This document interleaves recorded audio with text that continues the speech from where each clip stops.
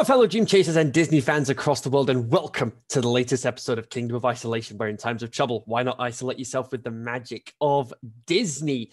It is the penultimate film in our road to the Renaissance period as we head to Victorian London with Basil the Great Mouse Detective, released in 1986, based on the book series by Eve Titus. But of course, it wouldn't be the Kingdom of Isolation without having a guest on board. He was with me for the previous episode covering the Black Cauldron, which you can see in the top right of your screens. It is the Dr. Watson to my Sherlock Holmes, Mr. Alan Sunter. Yes, folks, Basil of Baker Street was inspired by the Sherlock Holmes stories. Yes, and um, the name Basil itself comes from who is the guy who is to many the definitive Sherlock Holmes, Basil Rathbone. Rathbone, yes. Um, I don't know who my favorite Sherlock Holmes is. I like um, I like Rathbone. I love Peter Cushing. Uh, in fact, probably actually Peter Cushing might be my favorite just because of how awesome in general Peter Cushing is. yeah, fair play. And and then you and then you've got and then you're gonna have like uh, sort of like um people of this generation that will be more uh, in tune with Benedict Cumberbatch's. Yeah, or, or maybe Sherlock. even Robert Downey Jr. Oh yes, from the Sherlock Holmes films with uh, Jude Law, I believe, mm-hmm. as what as uh, as home uh, Watson. I've heard um, the show Elementary is also pretty good with uh, Jonny Lee Miller. I want to say I could be making that up completely, but yeah. So anyway, Basil the Great Mouse Detective. This I say this film uh, this film came out just over about um, so just double check. Uh, it came out a few months after.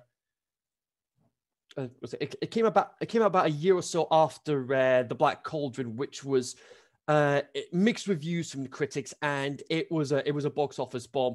So, uh, but from from initial thoughts, this was definitely a great this was definitely a return to form for uh, for Disney. Actually, it was also the directorial debut of uh, two longtime Disney directors, John Musker and Ron Clements, who started off as animators before becoming full-fledged directors for uh, a lot of uh, Disney's animated classics, especially during the Renaissance period, which we'll get into over the course of the summer. Uh, I'm hmm. recording this on May 19th, folks, uh, and I'm recording this before I head to uh, my first trip to the cinema in what feels like an eternity uh, to, to go and see uh, Tom and Jerry. And then tomorrow, May 20th, Mortal Kombat! yeah, uh, I really wish I could play the themes. I really wish I could play the theme song, but you know how protective some some of these uh, companies can be with copyright. But um, yeah, and unfortunately, the cinemas um, still aren't open yet in my neck of the woods. Ah, but... unfortunate. Uh, wh- uh, which oh, next? Well. Uh, whereabouts would that be? A Dundee. Ah, oh, oh, that that'll be sort of like that'll be sort of like Moray, uh, Moray area, I would imagine. Yeah. Or, yeah. Or, um, or uh, I checked a few days ago. The the only um nearest nearest to me cinema that's open is in Livingston. That'll be a fair, that'll be a trek and a half. yeah, I I I don't think I'm I'm gonna do it. I'll I'll just I'll just stick to um my Blu-ray copy of Zack Snyder's Justice League. I'll be fine with that. Yeah, that yeah yeah that that film's four hours long, folks. Yeah. So, oh, uh, I. It, it if you're into it like me, if you're a big fan of it like me, it'll breeze by. Yeah, I was like, I was like, one, one of my friends said it is definitely worth the watch. Mm-hmm. So, Anyway, so um, so like I say, this is the, this is the penultimate film in the uh, road uh, to the Renaissance. The last episode on that road is going to be the next episode, which is going to involve Oliver and Company. Um, but yeah, um, I've, I've only got a, I've only got a handful of episodes left to record now. Once this one is uh, out of the way, folks. I mean, I've definitely found uh, doing this over the last week or so, especially that I've found that I'm I've been very productive as far as getting these episodes put together is concerned. So I'm definitely spoiling you guys with plenty of Kingdom of Isolation content, and I'm going to be spoiling you with plenty more of that over the course of the summer with the Renaissance period. So, but anyway, uh, let's focus on seeing how this case unfolds as we go through Basil the Great Mouth Detective. Spoiler alert in place if you haven't seen the film yet. So we get so I'll say this first frame, yes, first frame, right at the gate. You, the atmosphere, just like the the lighting and the the mist in that opening shot. London, 1897, which is going to be very pivotal in the narration after the opening credits. Um, you, it really, it really, uh, was it the atmosphere of uh, Victorian London is captured right out of the gate with this first frame. Mm. And then after that, we end up in this toy shop with uh, the Flavershams. You've got uh, Olivia Flaversham, voiced by Susan uh, Pollatschek. And Who's apparently from uh, Glasgow. Yeah. A, yes, and uh, yes, the uh, the Flaversham mice they are from Scotland. Uh, not sure whereabouts specifically, but given given the um, given the dialect from from those two, I would imagine probably somewhere maybe Edinburgh region, possibly. Yeah, uh, that that seems about right. Um, I when I was doing um, my research, I found that um, Susan uh, got the role of Olivia due to her sincerity and naturalism in in the performance. And yeah, I can agree with that. Especially ah. impressive considering she recorded it when she was eight years old. That is definitely very impressive. And uh, her dad, uh, voiced by Alan Young. Yes, um, uh, Hiram Flaversham. Uh, now, Alan Young does have a um, a, pretty good resume on his end. He was known as he was let's say his best known role in the world of uh, Disney was, of course, Scrooge McDuck for over 30 years, incredibly. And he his first role as Scrooge McDuck was in the Oscar nominated short Mickey's Christmas Carol just three years before this film was released. And he's also, well, of course, been... in that one, he wasn't yep. called Scrooge McDuck. He was called the actual name of Ebenezer Scrooge. Ebenezer Scrooge, yes. Let's say, let's say the Mickey's Christmas Carol. It's it's a great short. It's a great telling. Uh, say, it's it's a great um, it's a great telling of the classic Charles Dickens um, uh, book, A Christmas Carol. I say the, yeah, the fact they're able to do that. Sorry, no, no, I was just say it's um, many people's introduction to the story, and it's not a bad introduction. Yeah, absolutely. And the fact they we're able to do all of that in about what 20, 25 minutes or so. Mm-hmm. And um, and of course, and of course, don't worry, folks. When it comes to the Christmas Carol, when it comes to Christmas time, I've I've said it before in previous episodes. Uh, the Christmas episode for this year is going to be the Muppet Christmas Carol. So that's so there you go, folks. That so that's that's going to be my Christmas episode for this year. The lot uh, the Christmas episode I did last year was, of course, Tim Burton's The Nightmare Before Christmas, mm. and and that was actually the first episode uh, for the for those that are newer to uh, newer to this series. Uh, that was actually the first time I actually started using clips from uh, from the film. What the? Hello, Oogie. But, but of course, but of course, I've got to be careful with that how long those clips are because again, copyright issues. Yeah. But, but uh, there we go. There we go. yeah, yeah. Say, oh, say, look at look at that. That yeah. Doesn't that image alone just scream like Sherlock Holmesian kind of thing. There's always something about London in the fog that just instantly makes you think of, you know, Sherlock Holmes. Yeah, absolutely. I say, and, and, and it's not hard to see why. I say, given, I say, and and uh, I'll get I'll get into some of the references to the Sherlock Holmes material during this um this episode. Yeah, because because there's a there's a lot. yeah, absolutely, yeah. But um, let's say let's say there's um, as Alan Young did a lot of um uh, projects as uh, Scrooge McDuck. Um, he, he's he's done a, he's done a fair chunk of uh, radio stuff uh, as well, including his own show, the Alan Young Show. Um, he was um, I'll say he's done Scrooge McDuck for a number of um, for a number of Disney's projects, including uh, including a classic uh, TV show that I'm sure you guys will all be uh, familiar with. I can't play the theme song because copyright, but uh, let's just say DuckTales. Woo!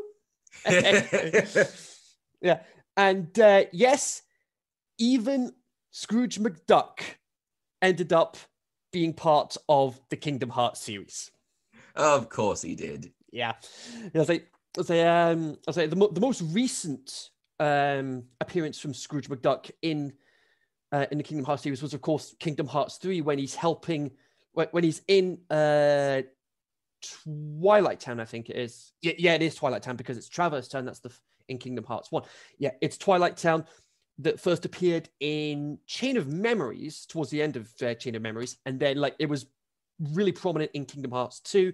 But in Kingdom Hearts 3, uh, you've got Remy with his own little uh, bistro or restaurant, whatever, or whatever it is, and you've got Scrooge McDuck outside just uh, relaxing and enjoying himself there. Nice. But uh, yeah, as I like to say, um, uh, I say Alan Young was uh, he was in Ducktales, he was in TaleSpin, and uh, he even did an episode of uh, the Batman animated series, which we uh, talked about previously in our Alice in Wonderland um, episode as Todd Baker in the episode Baby Doll.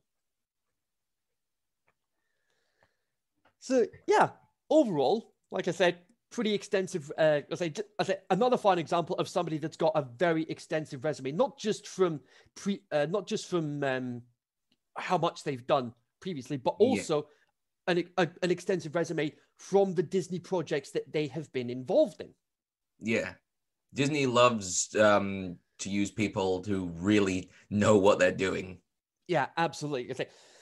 And, and and that's one of the reasons why they and that's one of the reasons why, as far as their casting uh, is concerned, for the voice acting stuff, especially, it's mm-hmm. it's more or less on point throughout every single film that they've done. Mm-hmm. But back to Basil for the but back to Basil for the time being. Um, it's um, it's it's a, it's a little present.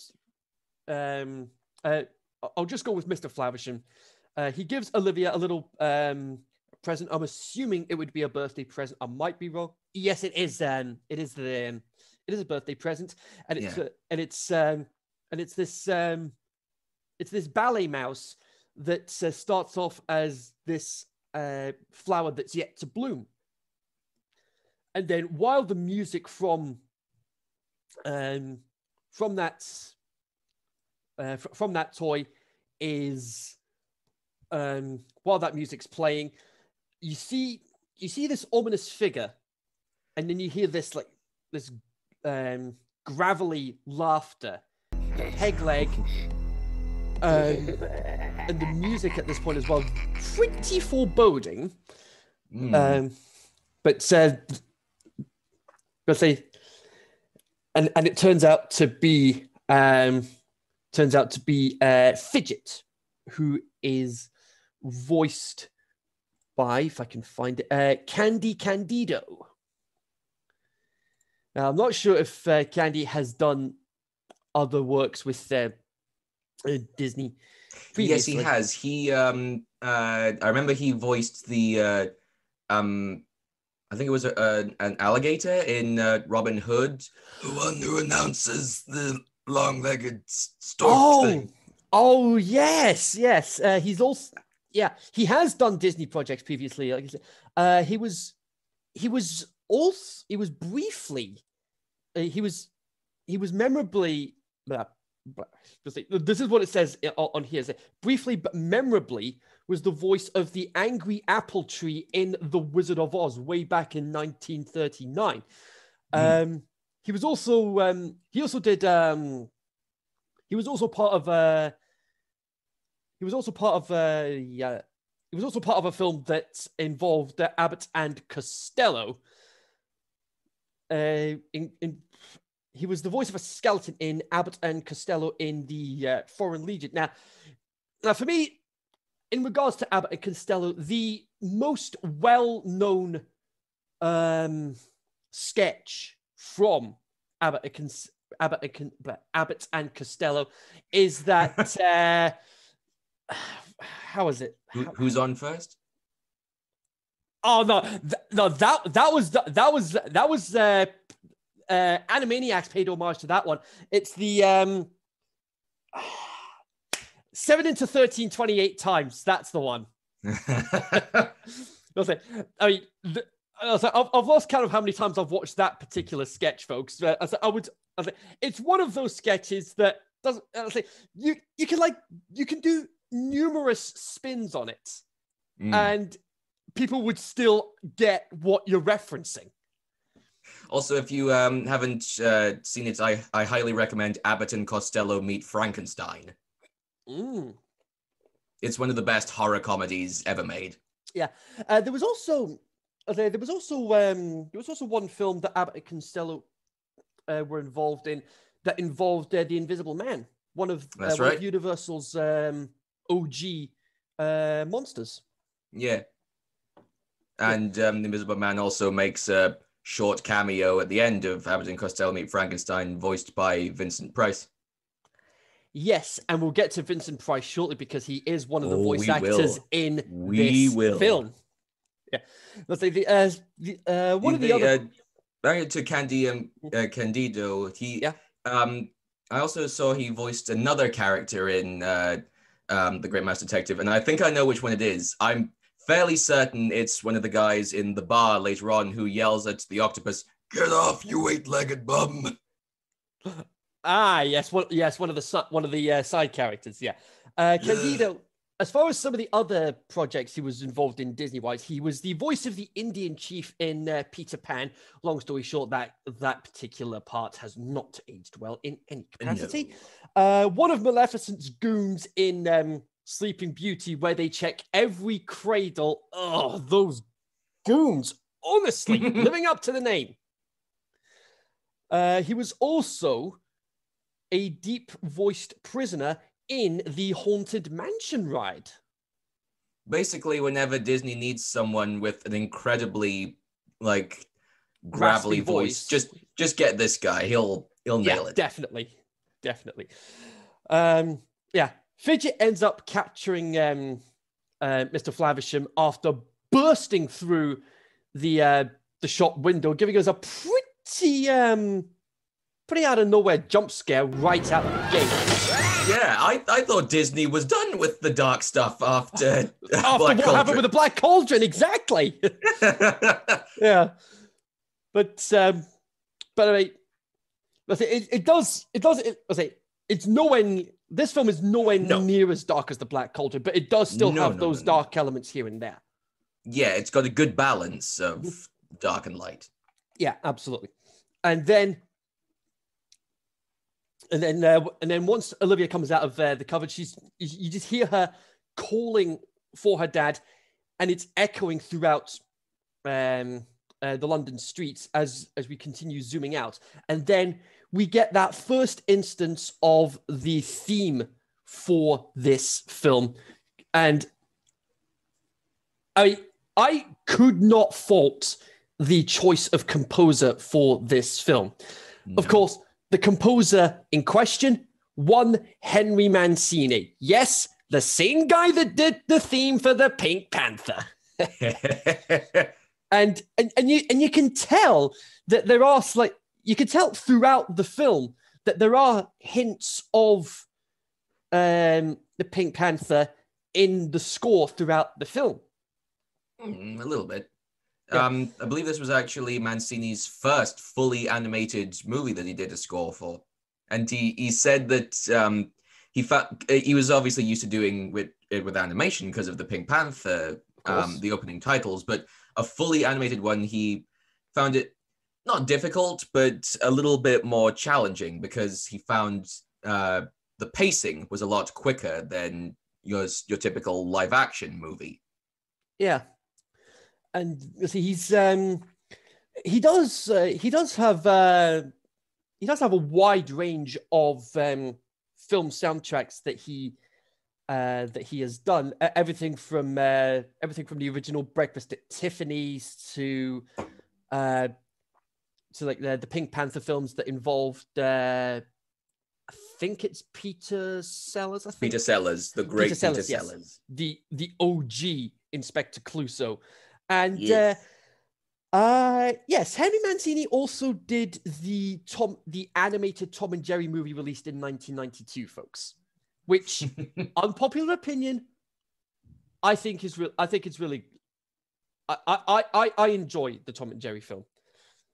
yeah, it's it's it's not the worst thing that's ever happened to Tom and Jerry. It's it's decent. Yeah, I can I can maybe understand why some um, purists would be put off by it.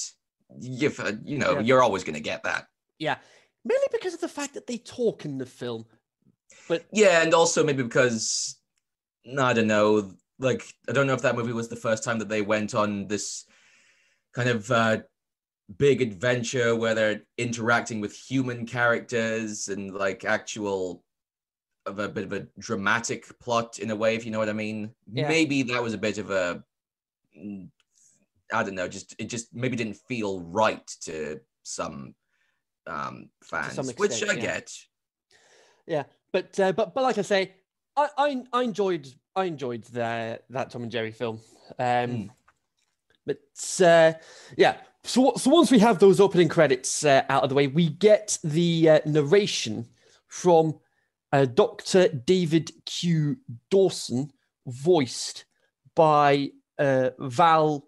Uh, well, his his full name is officially Valentine John uh, Bettin, but he's uh, he's credited as Val Bettin. Uh, he was previous uh, previously a soldier uh, in the Queen's 66th Regiment in Afghanistan, and he's actually a surgeon at this. Um, uh, now that he's uh, left, now that he's effectively left the army, uh, and he and his and his narration. Let's just say it's as if he's it's as if he's telling a story to the kids Mm. and the and and the narration here at this point is uh, he's talking about the fact that it's the eve of uh, Queen Victoria's Diamond Jubilee, hence Or the London 1897 thing. Yes, or or as um, uh, the mouse version is called in this movie, Queen Mouse Toria. Really pushing the boat out on the names there. Wait, what? That's the- Oh my word! I didn't even pick up on that. I did not even pick up on that. wow. Uh, yeah. Mouse Toria. Well, that just happened, folks. Fantastic. yeah yeah but um so yeah that uh, queen mouse toria so queen mouse toria's uh, uh diamond uh jubilee and and uh so dawson uh now that he's left uh the 66th regiment he's he's looking for he's looking for accommodation in london and Very this is- much like John Watson. Yes, and this is where this is where he ends up coming across. I think, I think, and just yeah, Th- that's I think this is this is this is one of the this is probably the first of like many references to Sherlock Holmes throughout the um uh, throughout the film, and uh, that, that's that's one of the, that's one of the things that I really like about this. Um, is one of the things I really like about this film. I mean, for for kids especially, it's in a way a great introduction to um effectively the Sherlock Holmes um uh, the Sherlock the Sherlock Holmes uh, stories. Format. Yeah, the Sherlock Holmes format in film form. Oh yes. I actually um uh found a quote by uh Roy Disney, Walt's nephew and the Ah, um, yes. vice chairman at the time. He said, I think mice are sort of in the family. We've just done mice all our lives, and I suppose we sort of are in love with them. Yeah, that, yeah, that that it it does make sense, and of course, uh, ma- making reference to, of course, the iconic Mickey Mouse, who was actually going to be called Mortimer Mouse originally. Hmm. Uh, yeah, and, uh, and and Mickey Mouse actually uh, took over as uh, Disney's mascot from uh, Oswald the Lucky Rabbit after uh, some um, copyright issues, somewhat with uh, Oswald the Lucky Rabbit, uh, and I believe Universal Pictures at the time. Well, I was um, doing my research. I also came across this really um, brilliant quote by Val Bettin himself about Disney. He said, We're all Disney creatures, aren't we?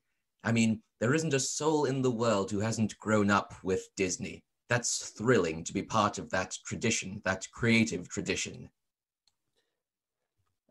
And let's just put it this way: I couldn't have said that better myself. Yeah, and and Val Bettin was a a great choice to play Dr. Dawson in this. Mhm. You can really feel his, you know, the Yeah. his his, passion for working on a Disney thing in his performance. All the performances in this movie are are fantastic. definitely. Um, but say Dawson ends up coming across uh, Olivia, um, and Olivia explains what what's um, what's happened. She's lost. She's trying to find Basil, and and and, Dawson just uh, in a way a little unaware of why um, Olivia is lost until he asks where her parents are, and then and then that and then that's when in a flood of tears oh bless olivia. That in a, in a flood of tears she says that's that's why i must that's why i need to find basil and and and dawson being being that kind parental figure Yeah. thr- throughout the film uh, Mhm. for, for Olivia. Um, she says, not not sure not sure where the parents could be or something like that, but he says he does know where Basil lives. So they head to Basil's place, and then we see and then we see the uh, the housekeeper, uh, Mrs. Judson, voiced by uh, Diana Chesney. and who is uh, of course a stand-in for Mrs. Hudson from Sherlock Holmes. There we go, folks. There we go. Yeah, I, th- I think I might actually need to do. Um, I think I might actually need to do like a, a- a tally somewhere on the screen of how many references to Sherlock Holmes um, that we managed to point out throughout this uh, throughout this episode. was it? I was like, well, we'll work. We'll work that. I'll work that out during the editing process Oh But, yeah. but nevertheless, um, also, uh, they get to they get to they get to Basil's address, which which is also which is also where. I was like, because because Sherlock Holmes's uh, accommodation is two two one B, uh, and I, th- so it, it'll, it'll be it'll be something similar to that for uh, uh, Baz probably uh, two two one and a half or something along those lines. Yeah, probably. Yeah, because uh, because we'll um, so so see uh, the clip the clip the clip rep uh, the clip from that particular point will uh, will um definitely Yes, uh, that, that'll answer the question. Yeah, that'll answer it there. I was like- But um, say they get to Basil's accommodation. We get introduced to Mrs. Judson. Um, say, uh, is this the is this the um, uh, is, is this the is this the residence of Basil of Baker Street? And she she go. Uh, I was like, the first line she says, "I'm afraid it is," uh, and I and I actually put in here. Uh, it's as if she doesn't enjoy Basil being there, but she does like Basil. Don't get me wrong. She does like Basil, but um, Yeah, she she's a cons- like Basil is a considerably much better lodger than Sherlock Holmes was. I mean, the, there's the famous bit in the books where um I can't remember if it's to solve a case or something, but uh, or maybe even just out of boredom, but Holmes um takes a gun and just shoots the letters VR onto the wall. and that is in reference to something that happens later in this scene. Mm-hmm. Um, so yeah, So, so some of the, some of the uh, contraptions that we see set up throughout this um, uh, th- throughout the living room area. Um, I'm just I always love that in a movie. I I Yeah. love a room dedicated to all kinds of sciency stuff. Yeah. What does half of it do? Who knows? Who cares? It looks sciency. Yeah, I'm, I'm, I'm just sitting here thinking to myself, "Gee, Rube Goldberg much?" It's, it's- it's just just the con, just the convoluted ways of doing like simple tasks, tasks like uh, uh smoking out of uh, uh, the pipe that's attached to the uh, the device, and then you've got these, and then you've got these boots doing like these um uh, footprints on uh, bits of paper. hmm and and then oh and then uh we, we we hear this voice outside and then he bursts through the front door. I shall have him. And what on earth is that costume basil's wearing of course but at this point in this film at this point we don't know that it is actually basil underneath that um costume. But um but and, and then dawson questions who on earth is this guy? It's As you would. yeah, in a way, it's a very foreboding entrance. Uh, yeah. from Like uh, the, from the Basil. door bursts open, we see him and a flash of lightning behind him, almost as if he has a sinister intent. Yeah, but uh, but despite that, uh, but despite that, he, I think he comes across very gentlemanly when he's introducing himself. Because this is where because this is where we actually see Basil himself on screen uh, for the first time once he comes out of his uh, disguise, voiced by uh, voiced by Barry Ingham, who um, this looks like it's his only um, Disney themed uh, project that he was uh, involved with, but uh, he has done he has done a couple of um, he's done a couple of things with uh, Doctor Who. Uh, he was in he was in the uh, the Mythmakers uh, story in 1965 where he played Paris, and he played Alydon in the uh, film Doctor Who and Daleks. Uh, he was in the Sweeney. He was in the. Um, he's he's done he's he's made appearances for like one or two episodes here and there for like various shows. He was uh, the Avengers, uh, the A Team, Murder She Wrote as well, uh, Star Trek Next Generation, and he also did a TV movie adaptation of the Jekyll and Hyde musical, where he was Sir Danvers Carew. So, just quickly scanning through his uh, filmography, it uh, this is his only role in a Disney uh, project in some capacity, be it TV show, film, or otherwise. But Hmm. He, was like, there's there's so much to go through as far as this, uh, as far as uh, Basil himself is concerned, and how Barry uh, portrays him. I think the introduction comes across very gentlemanly, and then and then you get that, and then you get that like uh, that cocky, arrogant uh, side to him. Uh, I say he I say he go he goes through this this this this this this this and then and then points out the uh, and then points out the stitch on uh, Dawson's jacket, which his words only a surgeon knows uh, how to do. Let's see. I'll say again, just just another great reference to um another great reference to Sherlock. I mean, I mean, yes, and his use of deductive reasoning. Yes, I I- I distinctly remember at one point watching the very first episode of Sherlock, um, the Benedict Cumberbatch TV series, folks. Um, I think just just being able to look at things at a glance and just go through every single minute detail like that, and my exact reaction was, "It the what?" You see, that was my exact reaction after he had d- done his ex- explaining, and I thought they they made a great choice with the casting for Benedict Cumberbatch. Mm. And I believe, correct me if I'm wrong, I believe it was Martin Freeman Yes. It was Doctor Watson. Yeah. But I- say, if, if you haven't if you haven't seen the Sherlock TV series, folks, I would I say it's one I'd highly recommend you watch. I say uh, over here in the UK, especially, it is on uh, Netflix right now. Mhm. But um, yeah, the um, the that uh, that uh, shooting uh, the VR into the wall that you mentioned uh, a few Yes. minutes ago, that is a reference. Uh, that was uh, referenced thanks to uh, Basil um, shooting.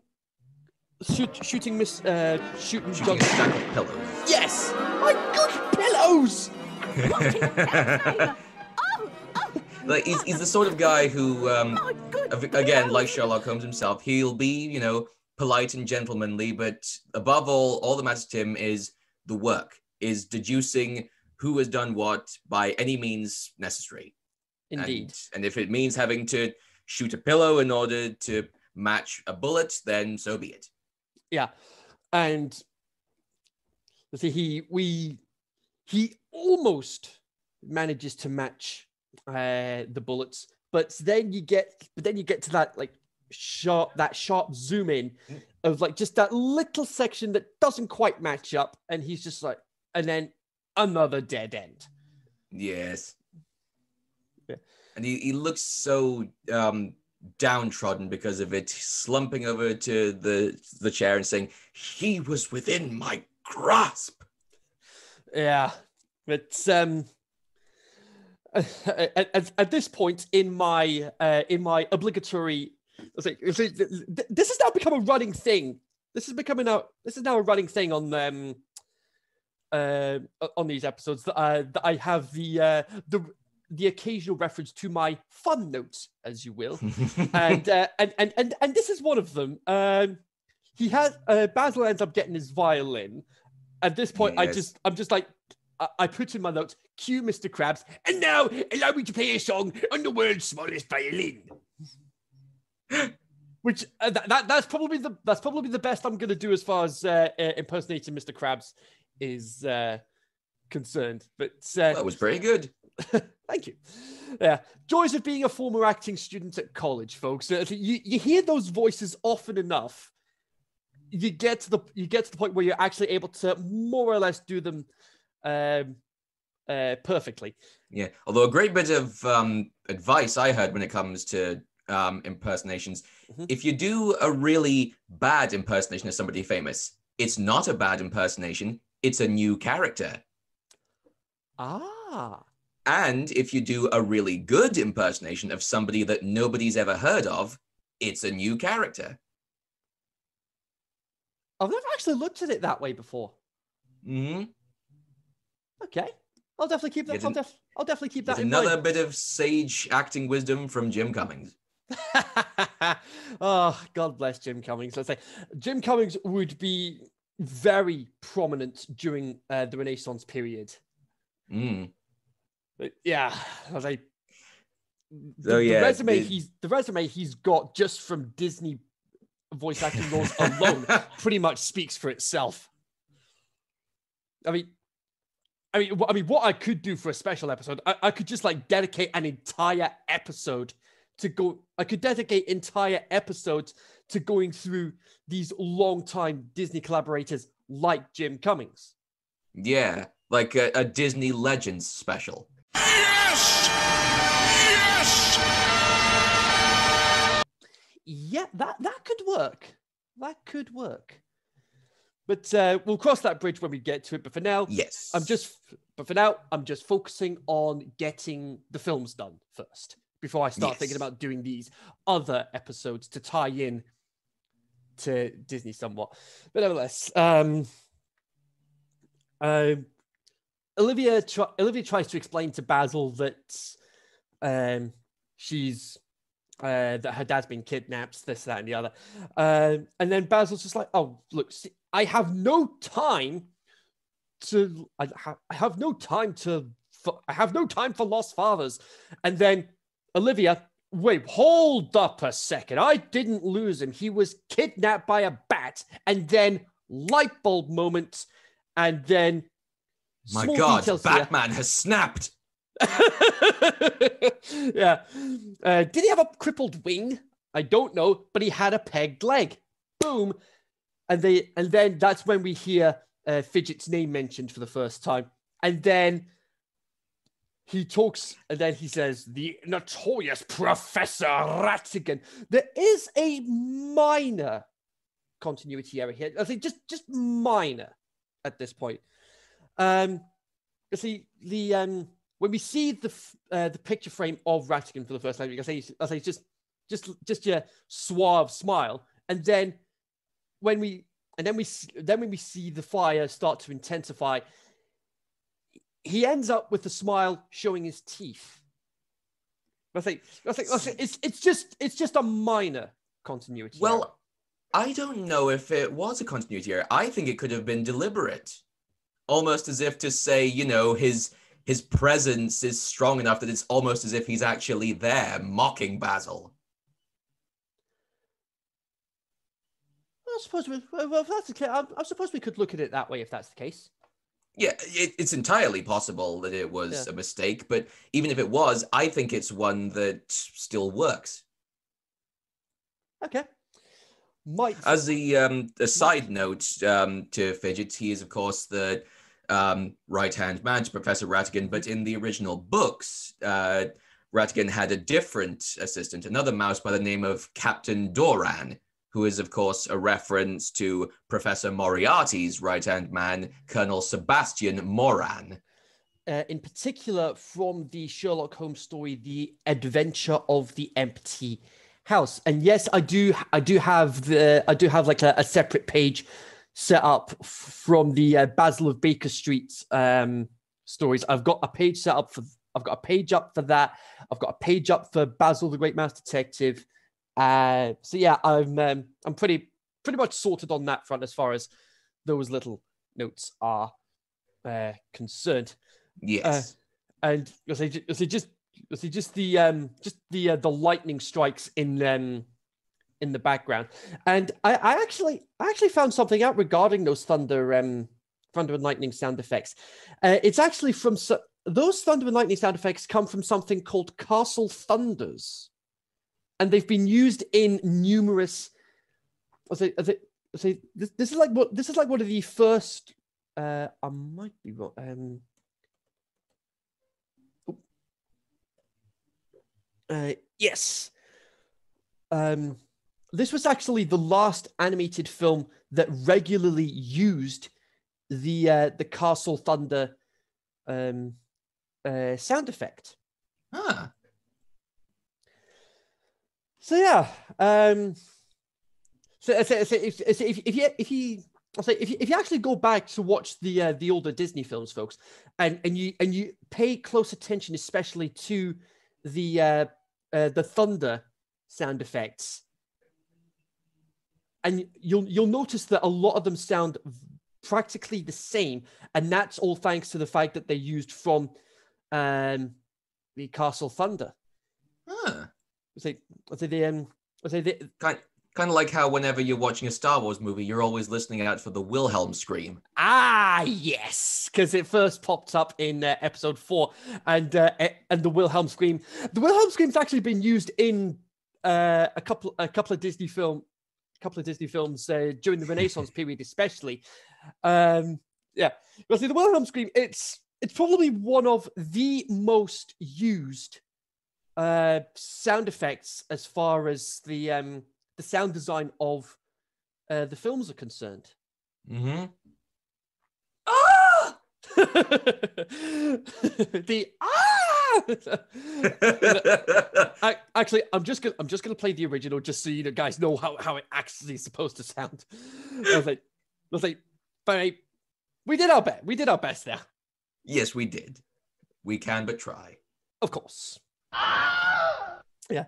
Um, Basil going to into a bit more detail about how devious and evil Ratigan is, and then we get and then we actually And- get to um One one thing he says about him, um, he calls him the Napoleon of crime, which is a which is a direct quote from Sherlock Holmes describing his arch nemesis, Professor Moriarty. Moriarty. Yeah. Uh, And it's such a good such a good phrase, the Napoleon of crime. yeah. The, I was like, so, so, so from here on out, when, when you hear something like that, the Napoleon of whatever it is, that's when you know they mean business. Yes. Although that that has now reminded me of um, a really really bad joke from the latter half of the real Ghostbusters when they encounter the ghost of Professor Moriarty and he says, "I am the Napoleon of crime," and Venkman says, "And I'm the Caesar of salad." oh dear, we go. Oh yeah, that oh that's the animated Ghostbusters series, correct? Yeah, Yeah. the one which start which started out so good and then went massively downhill. Yeah. But um I'll say um uh, Mr. Flaversham is with uh Ratigan uh creating this uh what turns out to be a robotic um uh replica of Queen Mousetoria. And I gotta say, Hiram Flaversham is a, a master of his craft. yeah, you can tell he's done you can tell he's been doing this for years. yeah. But um, but of course, hearing Ratigan speak for the first time, this is where he's voiced by Vincent Price. Vincent Price actually said himself that this of all the films and roles that he has done, this was his personal favorite.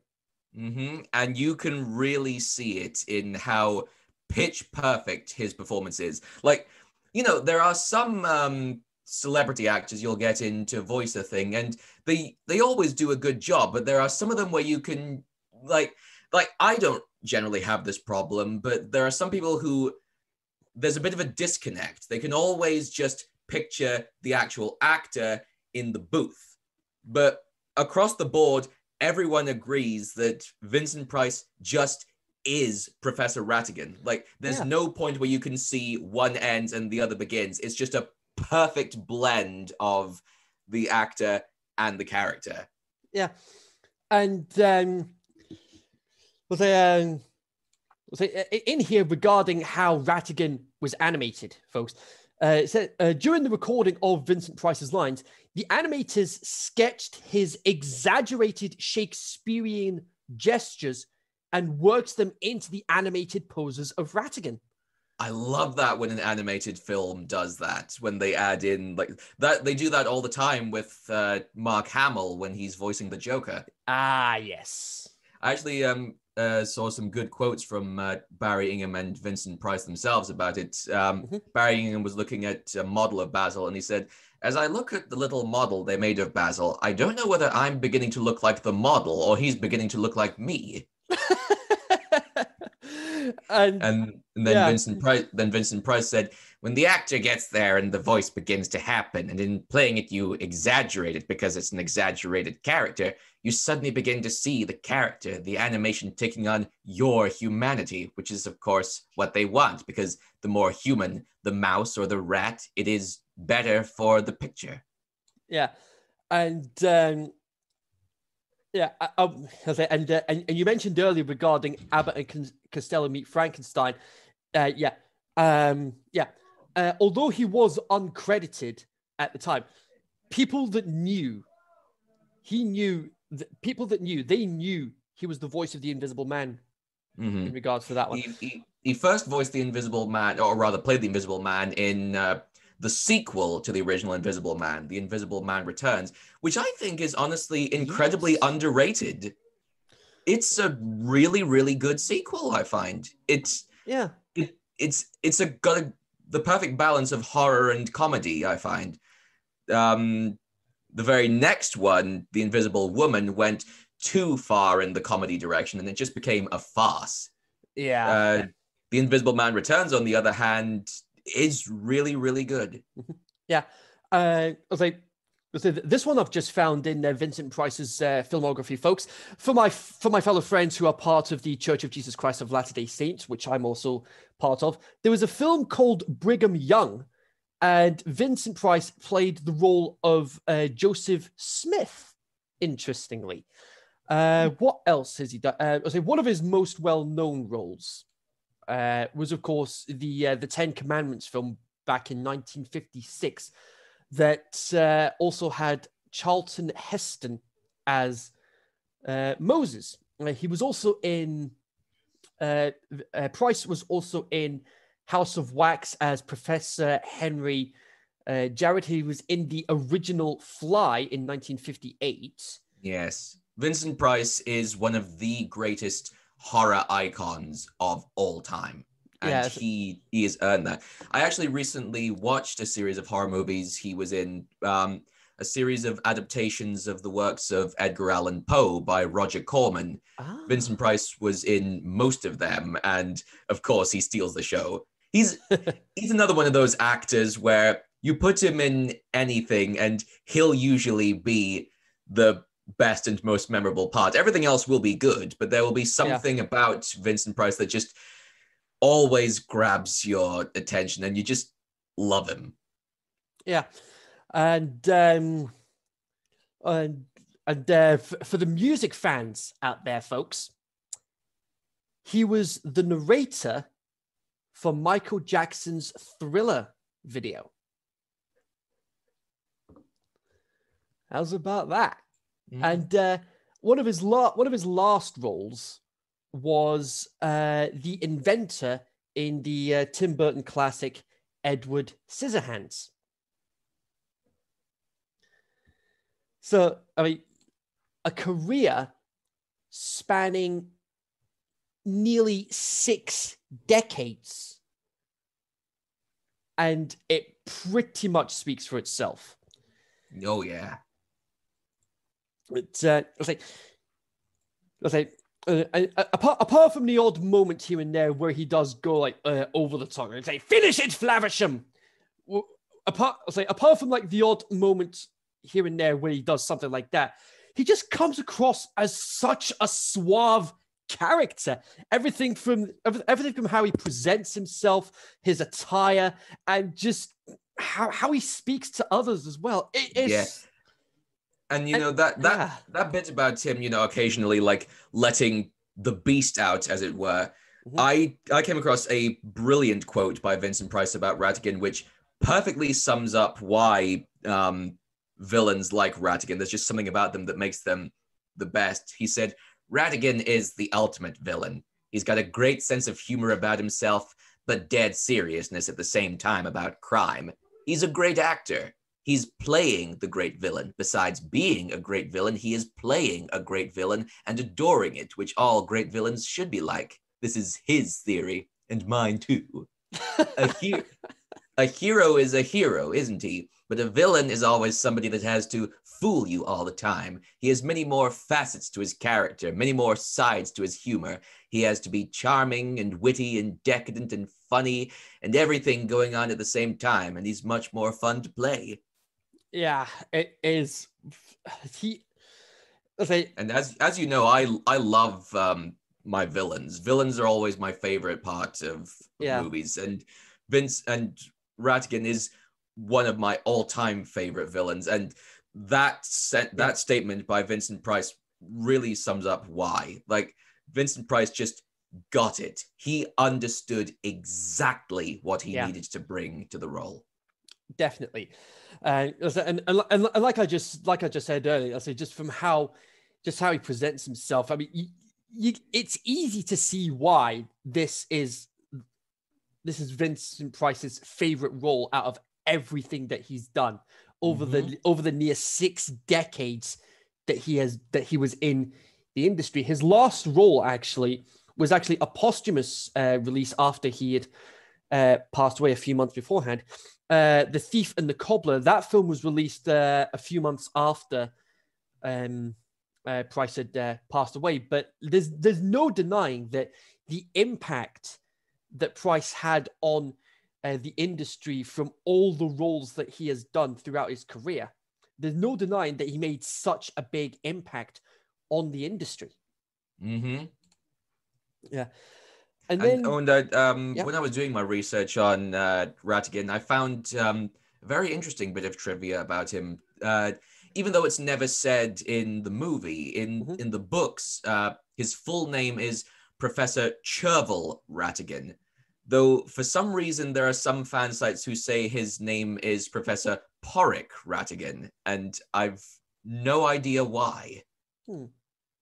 I I I couldn't find any um official like statements that his name is is Porrick or whatever, but I don't know. Yeah. The um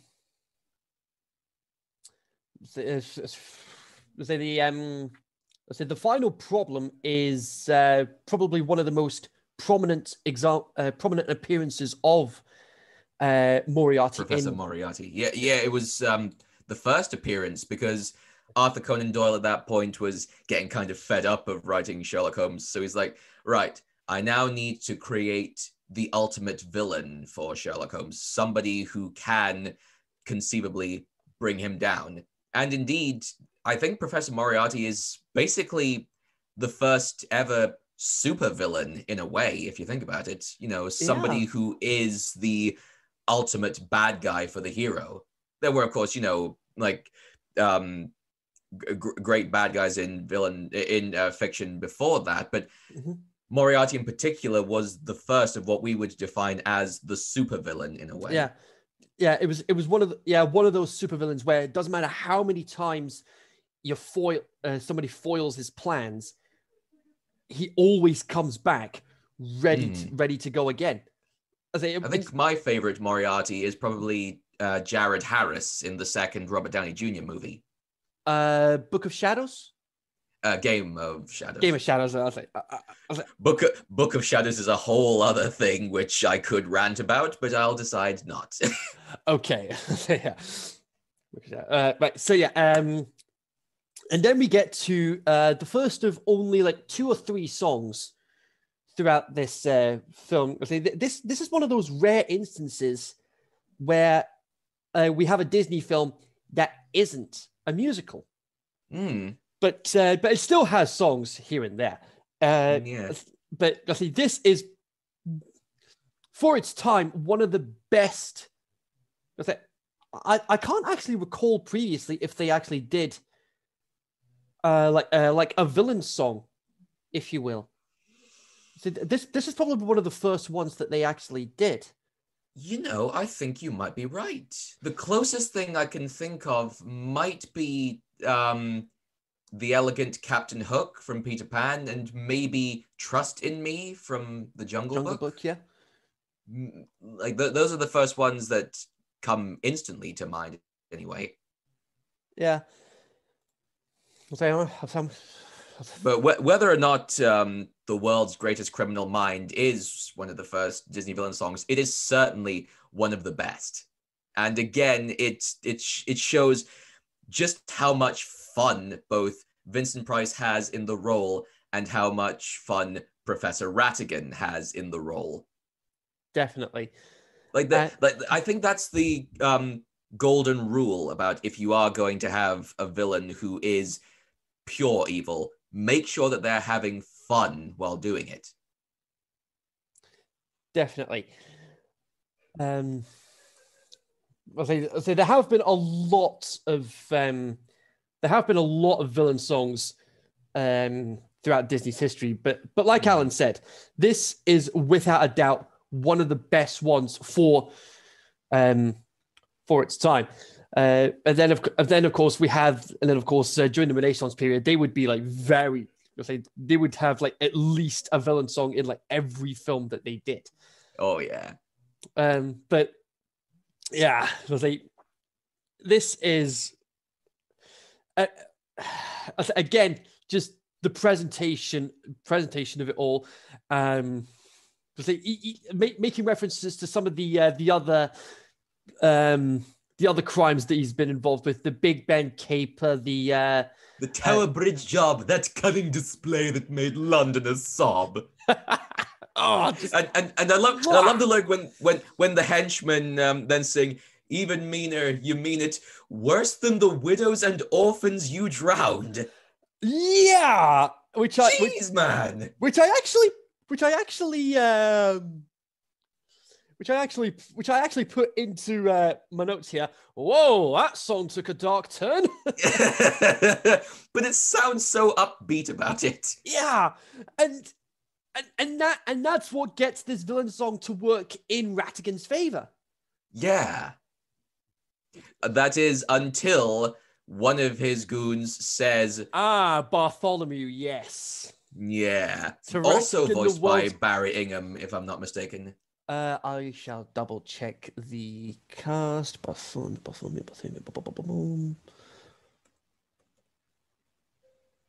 Mm, doesn't, uh, doesn't look like it's uh, doesn't look like it's showing up on here at the moment. But um, I mean, it may, may very well, he may very well be. But uh, he goes to again. the world's greatest rat, and then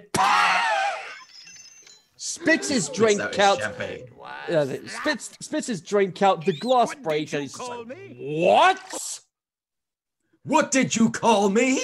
and then and then they and then they actually make reference to the uh, the Eve Titus books here that because despite the name, he is actually a mouse in the Basil of Baker Street books. Hmm. Yeah, I I think um, they might have made um, uh, the change here, maybe to like I don't know, d- d- in some way deepen the Ratigan character. It's like, is it to say he's been he's a rat in a mouse's world, if you know what I mean? Ah, and and that makes sense because um, supervising animator Glenn Keane said, when you discuss how these characters are going to relate, you're not talking about cartoons and funny ideas. These are real personalities. With Ratigan and the other characters, we developed what their history was. What was it like for them growing up as a kid? Why did he go bad? And why did Basil end up as such an extremely intelligent guy, but a social misfit? Hmm. I would I I wonder if there's like you know a Great Mouse Detective Bible that Disney was working on when they made this movie, and if so, I'd love to read it. yeah. It's um the um uh Ratigan then ends up uh, just throwing Bartholomew out. I'm afraid you've gone and upset me. And then he gets this know what happens when someone upsets me. and he gets this little bell out, which would be which uh, which will be very pivotal in the uh, the climax of the film, folks. So definitely stay tuned for that. So he just gives a little ring, and then you see Felicia come on screen. I mean, at this point, the music is very unsettling. Looks up to see the cats. Oh my, no, that's very unsettling. yeah, and I love I love they do the thing of showing the demise of Bartholomew in shadow. I, I love I love when a movie hints at something horrible like that. You just you see the shadow of Felicia dangling Bartholomew into her mouth. Cut back to the goons not looking away in horror, and you just hear pleasant. yes. And of course, um, Ratigan is so proud. Oh, Felicia, my precious, my baby. Did, ha- did Daddy's little honey bun enjoy her tasty treat? And then she burps. And Right I, in his face. yeah to to which to which i put in my notes uh i'll take that as a yes Ooh. yeah and then and then and, and then the thugs and then the thugs uh, have have to like finish the song Yeah, before I, and I love the way he EQs that. He goes back into the lair and says, "And now, as you were singing," and they're still a little bit shell shocked, so he shows them the bell again, and they instantly go back into it. yeah I say they, they give And, I- they, and again, I love um, a moment like that with a villain when they're like, um, "Now, uh, um, start singing my praises," and then they just have to do some little gesture just to say, "I can kill you," you know, and then they jump right back into it. definitely yeah it, it's, and, and the fact that the camera zooms in at that point on onto the bell and you're just like uh, okay uh, guys you might want to get on with it but but see, but see they, they- they give him the works they give him the they give him the robe they give him the crown they give him the scepter and it's just oh, absolutely glorious here and then and then yeah, that's get, that's the best word to describe it. It's glorious. yeah and then and then you just and then you get this great mirror cut with the uh with the lightning uh with the lightning um was it his pose the same as the picture frame that we saw earlier. See, just a great mirror cut there. Mm-hmm. And whew, all right. I mean, th- th- there's so much we could praise Vincent Price on with this role. I mean, we could be here all day. We could. Yeah. But um but yeah, um once I say once once that flamboyance is done, uh so we get uh we get fidget uh, outside outside the out, outside uh outside the window and uh, Olivia just screams as soon as she sees him. Fidget falls and and then Basil just like gets himself ready. Boom, boom, boom, boom. Let's go. And then ah, ah bother. He's escaped. But he did leave he did leave uh, footprints to so that we can see where he went. And yeah, the um and then bear, bear with me folks. Um yeah, uh they actually go in they actually go somewhat into Sherlock Holmes's actual um accommodation. They Yes, actually go where- we get a cameo appearance, again in shadow, by Sherlock Holmes himself with the voice of Basil Rathbone. yes. Not um not recorded for this because Basil Rathbone had passed on before this point, Mhm. but they used a recording from the 1966 Caedmon Records recording of the Sherlock Holmes story The Red-Headed League. yeah. and they they also they do have um, a fresh actor though for uh, Doctor Watson. Um, Basil Rathbone's normal uh, collaborator on Sherlock Holmes, Nigel Bruce, had again passed on in 1953 before the recording, so he did not voice um, Doctor Watson in that particular recording. Yeah, but um, but it, it, it is great that they actually got uh, Holmes and Watson in in shadow for Yes. uh, for this particular scene, and this is where we see uh, this is where we see uh, Toby, who's uh, who's uh, Holmes's uh, uh, it's in here somewhere uh, Basset Hound. So, t- Yes. so yeah, um, Toby is Sherlock's pet.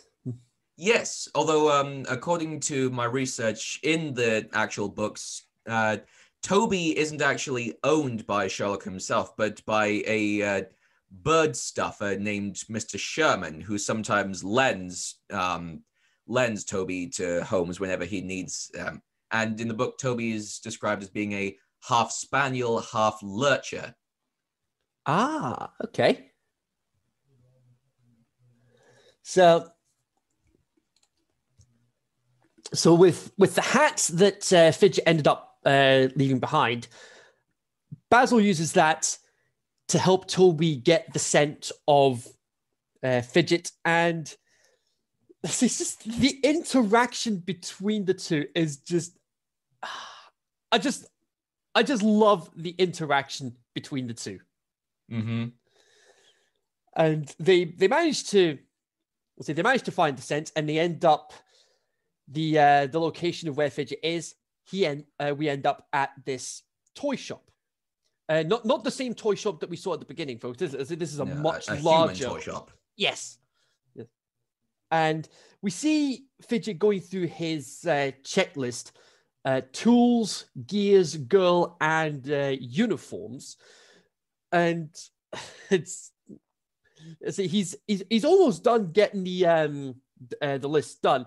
Uh he's got he's got the he's got everything apart from uh olivia. And then he hears he hears toby howling uh, outside the window and he's just like nope i need to get out of here and he ends up dropping the list and uh, so uh, as far as the as far as the voice for um, uh, Toby is concerned, it's none other than OG Fred from Scooby Doo, Mr. Frank Welker, who is Mhm. uh, now Frank's also a longtime Disney collaborator for doing like additional voices for Yeah. Uh, Disney projects, including Pretty much whenever you need a, a voice for an animal, give it to Frank. He'll knock it out the park. Yeah. And the amazing thing in regards to Frank Welker is that he's still going to this day. Mm-hmm. Now, I say, I say this. I'm pretty. I'm pretty sure this is the first time I've actually mentioned uh, Frank Welker uh, on here. I'm pretty sure it is. Is, uh, I mean, his voiceover filmography. Where do we even begin? He- I mean, I'm, I'm just going to try and rattle these off as quickly as possible. Uh, he did Cujo. Yes, the horror film Cujo, based on the Stephen King book. Uh, he was uh, in Nausicaa of the. He was in the 2005 Disney dub, Disney English dub of uh, Nausicaa of, of the Valley of the Wind. Studio Ghibli fans uh, rejoice. Uh, he was in Gremlins. He was in the first Troll film. Uh, he was uh, he was the, he was the he he voiced the aliens in Flight of the Navigator. Uh, and yes, animal vocal effects for the 2003 Disney English dub for Castle in the Sky. So yeah, he's even been in Studio Ghibli films. Uh, Ca- Castle uh, Castle in the Sky. He was Igor in Pinocchio and the Emperor of the Night uh, with James Earl Jones as said emperor as well. Um, he was also uh, Totoro uh, in My Neighbor Ta- Totoro and also Catbus. uh, it's, it's just every time somebody brings up uh, My Neighbor Totoro, I always have, end up having to just jump in and just go Catbus. yeah, uh, he was um, uh, he was uh, Louis the hot dog vendor in uh, Oliver and Company. He was in the Jetsons movie, Ducktales, Tales from the Dark Side. Uh, Marahute, the golden eagle in The Rescuers Down Under. Uh, he was uh, the wolves. He he did the wolves in uh, Beauty and the Beast. He was Abu Rajah and the Cave of Wonders uh, in uh, Aladdin. He was. He even did the Mouse and the Lion King. Oh goodness me! Wait, what? Oh, so like I like I said, my point being, he's done a lot of voiceover stuff. I could be here all day. I've just spotted he did Angel the Hawk in the next Karate Kid, the one with Hilary Swank in it. Hmm Although probably one of his uh, best and best loved roles is another arch enemy. I'll get you next time, Gadget. Next time. Dr. Claw from Inspector Gadget! Dr. Claw himself. Oh my word! How's about that? but I was like, at the, end, I was at the end of the day, as far as Frank Welker's voiceover stuff is concerned, just from the films alone. So, so yeah, uh, so, so, Dude's so- got a great range. yeah. So Jim Cummings and Frank Welker, two episodes for the Disney Legends uh, block. oh my word! I say, just wow. um, but anyway, uh, back here we we're we're at this toy store. Uh, Fidget has dropped his list, and Basil sees the footprints. He sees the um, he sees the uh, royal dolls stripped of their uniforms uh, the toys being stripped of their uh, their gears, and we and then Olivia is somewhat uh, distracted when she see, when she hears this um, um, Like lullaby music. lullaby music, yes, uh, and then you you actually see one of the toys, um, uh, one of the toys blowing bumble blowing bubbles. That toy ends up being. Uh, it turns out that toy is actually Dumbo, and it's it's not the first time. And I'm pretty sure it's not the first time Disney would have done this. sort of. Uh, ha- having these little Easter eggs and making reference to like previous uh, Disney films. I mean, Pixar are ever so famous for that. I mean, you can't go through a Pixar film without either a pic- a Pizza Planet truck or A113. Oh, and Jo- and John Ratzenberger for that matter. Oh yeah, I mean, you can't have a Pixar film without John Ratzenberger in some capacity. yeah. Marvel movies need Stan Lee. Pixar movies need John Ratzenberger. Yeah, I say it's just just a shame we're not going to have any more Stan Lee cameos now that Stan Lee's uh, Yeah. gone.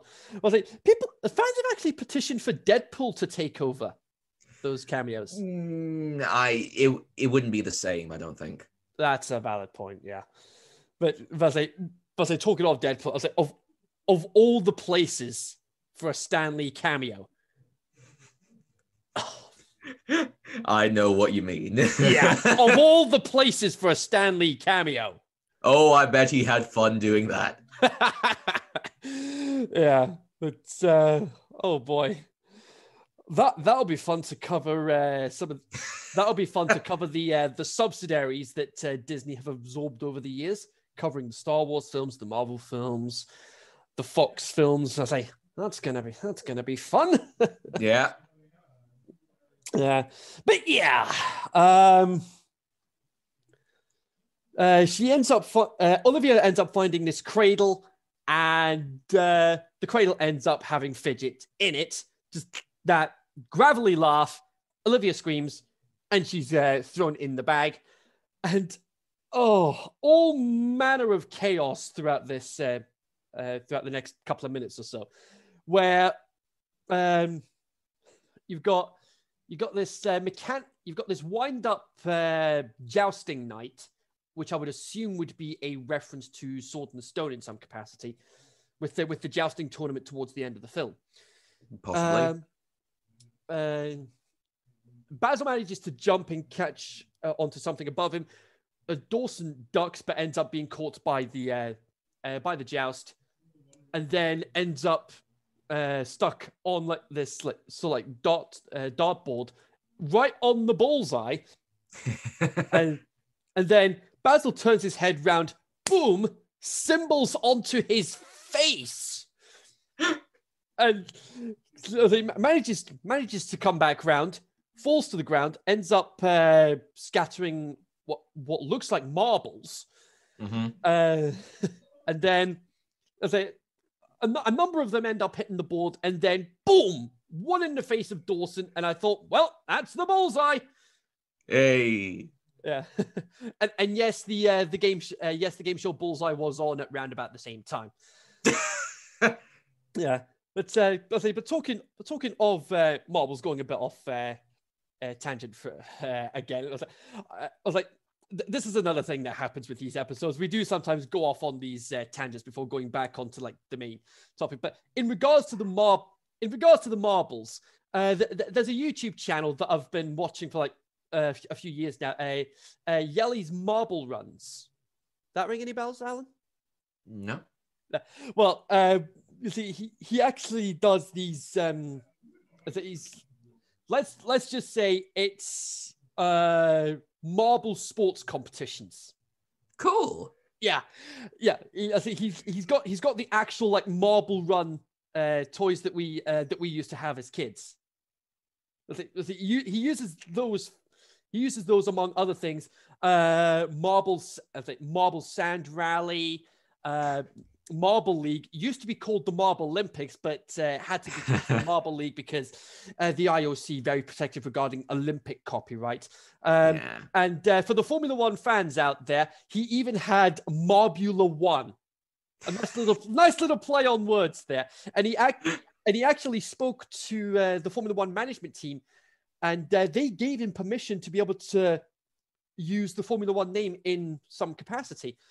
And uh, and the the great thing is having these marble sports competitions to keep people like me entertained when there was no sports action going on during the early stages of uh, lockdown around about this time last year.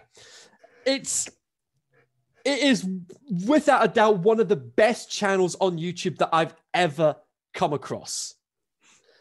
And um, I say, say, some of the some of the names for the teams for the Marble League as well. You've got like uh, you got like the Jungle Jumpers, the Green Ducks, the uh, and and of course uh, for for long time uh, Marble League fans will know exactly the, uh, the the rivalry between the O'rangers and the mar- and the marbles are all orange, and the savage speeders. I was like, I was like it's just I was like, the- with the old Rangers especially. I was like, it's just every. Let's see, uh, they've they've actually they've just got a simple chant for, for the team, and it just goes a little something like this. it just goes, oh, yeah. Let's see, let's go Rangers. Brilliant in its simplicity. yeah, and let's see, let's see, I actually came across the channel just by accident, and I've been I've been hooked on it ever since. I say, like I say, it is one of the best channels I have ever uh, come across, without a doubt. I'll have to check it out. Yeah. I say, they've actually got the uh, 2021 Marble League coming up uh, during the summer. Uh, Ah.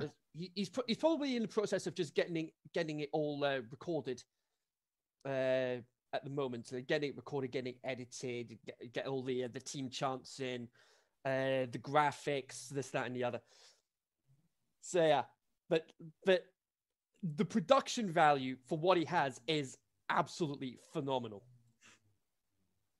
Yeah, uh, but the end of the chase here, the end of the chase here, you've got uh, Basil on what looks like it's like um, uh, One of those pull string dolls. yeah.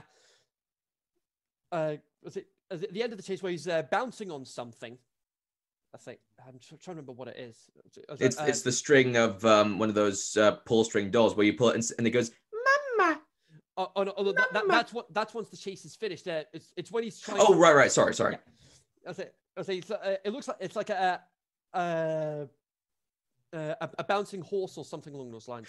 Oh right right right yeah yeah yeah on the on a spring. Yes. Yeah. Uh, I'll, I'll- call it a spring horse. I'll just make it easier for me. Yeah. Um, he's on a spring horse. He's he almost catches Fidget, gets the top of this huge pile of toys from like building blocks to dolls, um, and Fidget decides, you know, bye bye, and just knocks the whole thing down. And and that's and that's when Basil gets caught on the drawstring doll right. and and you, and you just hear Fidget just celebrating the fact that he uh, he's got everything, and uh, yeah, it's um, hmm, Not looking good. yeah, because to um, uh, but uh, be- before before we uh, go back to Fidget, um, the uh, they both both Basil and Dawson do take some sort of responsibility. Dawson more than Basil, uh, that they should they should have paid more attention uh, in regards to making sure Olivia was okay. And then Dawson finds the finds this checklist that Fidget left behind, and then and then Basil, he's just like Dawson, you've done it. This list is precisely what we need. Quickly, back to Baker Street. And then we get back. Then we get back to Fidget. He shows everything that um, he managed to get to uh, uh, to Ratigan, and then he's gonna like everything on the list. Uh-oh. What's And- wrong? Yeah, where's the list? And I love when you go, What? I was in the toilet door. Then I heard a, a woo, a woo. You're, You're not, not coming, coming through. Uh, and then and then when he mentions Basil, he's like, "What? Basil on the case! Case?" What are you gibbering little? I love how he, he looks like he's about to burst, but then he just yeah. just calm, calm, and then Yeah. says, "My dear fidget, you've been hanging upside down too long." Then like walks away with him all friendly, and then they go around the corner, and you just hear, You just hear the bell ring, and then Yeah. Felicia comes into play. oh dear. and of course, like Felicia's trying to eat fidget, and Ratigan's just like just on the ground going, "How dare that idiot Basil poke his stupid nose into my wonderful scheme and foul up everything." oh dear. J- Just another testament to how great Vincent Price is as Ratigan. Yeah, like every line he delivers pitch perfectly. Yeah. Um Poor Basil. Oh, he's in for Yes. a little surprise. Yes, he gets a sinister idea. Yes, as most great villains do. Oh, yes, a wonderful, awful idea. yeah. Um, Basil and Dawson examine the um, uh, the checklist, even to the mi- m- most minute detail of the paper that is used. Which I be- the paper I believe is from like Mongolia, something along those lines. I think that's right. Yeah. Um, and then, and then, Basil does this like, like chemical reaction, and then they get the, the- and then they manage to work out uh, the destination, uh, the next destination for them to head to. They head to this, um, they head to this tavern, which is on the Thames riverfront, uh, dressed up as uh, uh, crewmates of a ship. Interestingly. Now, no, I was like, it's it's a it's a pretty it's a pretty interesting disguise to help them try and somewhat blend in. Although he did, although Basil could have got a bigger shirt for Dawson though, Yeah. because I guess he just um, picked out stuff from uh, his own cupboard of disguises and thought, well, this will just have to do. yeah, yeah, and uh, and and the, and the whole and the whole di- and the whole disguises thing, yeah. Um, Yet another thing that um, Sherlock Holmes had a penchant for. yeah M- maybe i think may- maybe that was part of the inspiration uh for the uh for the hitman games potentially Maybe. I'd, Be- I'd need to um, look Sub- into sub- that. subdu- subduing the enemies and taking uh uh t- taking their um taking their clothes and make uh, as and then disguising yourself as be it uh, be it a bodyguard and i'm going by the uh the, the hitman reboot trilogy Right. uh, I, I, I don't know if that would necessarily have been directly inspired by Sherlock Holmes in particular. Maybe just, you know, just the concept in general of yeah blending in with the enemy. Yeah, like, I was like disguises from like uh, uh, a housekeeper, a bodyguard, uh, waiter, uh, the, the, I like, am- among many others. But um, they they're actually at this uh, at this uh, cabaret esque variety show, uh, and you uh, we only we only see like two or three acts here. The, the first one is this octopus, uh, just juggling with this with this jolly ragtime music in the background. and um and, and then what and then once the octopus's act is uh, finished, Is, is Dawson- booed off. Dawson's the only one that applauds him though. yeah, that doesn't go down well. And then then the next um what is it? The the next uh, the next act is you've got uh, uh, what appears to be uh, a frog, I think it is. You've got you've got two you've got two of these animals on a uh, on a unicycle, and immediately they get booed off. but my word, uh, and then and then you just hear this, uh, then you just hear this whimsical music, and you get this, then you get this mouse on stage, uh, voiced by Melissa Manchester, who does this song, uh, "Let Me Be Good to You," and, and I believe she actually wrote the song herself. she did. Yes, uh, that is that is mentioned in the uh, the closing credits of the film that Melissa Manchester did write this song. Hmm. Um, and then, but so like, sort of about, sort of about the midway point, she has like a, a costume change, and then it gets it, and then she's wearing this sort of like this tight leotard. And I just thought, okay, Jessica Rabbit, eat your heart out. Oh wait, hang on a second. Uh, I'm a, uh, I'm about a couple of years early for that one. Yes, yes, yes. Because, but you, you know what I mean, folks. I mean, I was like, the reason the reason I bring up the uh, the whole uh, couple of years early thing is because this one was released in 1986. Who Framed Roger Rabbit? 1988. Also done by Disney. Well, technically Touchstone Pictures, which is a subsidiary of uh, of Disney. yeah, but Disney still had some hand in it. Yes. Because because it wasn't just Disney characters that were in this film. You also had Warner Brothers characters as well. But There's an idea for a spe- there's an idea for another um, special episode for Kingdom of Isolation. Who framed Roger Rabbit? Oh yeah, yeah. Yeah, because because there's there's like one or two scenes in particular that are just iconic from Oh that- yes. yeah uh you because you've got that piano battle between donald and daffy and then and then you've and then you've got and then you've got for the first time on screen together mickey mouse and bugs bunny i mean that is just effectively the dream for a lot for a lot of kids that watch this film pg rating aside folks Uh, yes. but uh, nothing just just being able to see all those um all those characters Mm-hmm. There's always something just so satisfying about a good crossover like that.